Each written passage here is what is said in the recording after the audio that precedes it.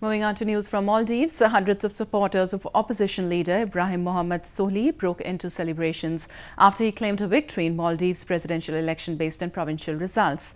Later in the day, incumbent President Abdulla Yameen conceded defeat in a televised address to the island nation.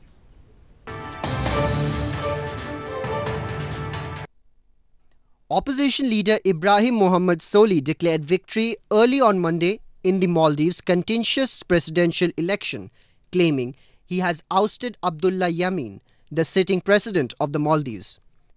The Ministry of Foreign Affairs later on Monday cited provincial figures from the country's election commission, showing Solih taking victory by margin of 16.7% over Abdulla Yameen in Sunday's election.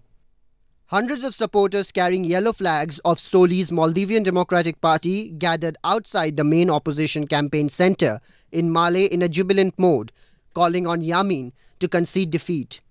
Yameen had expected to cement his grip on power amid criticism over fairness of the vote on the island's best known as luxury holiday destination.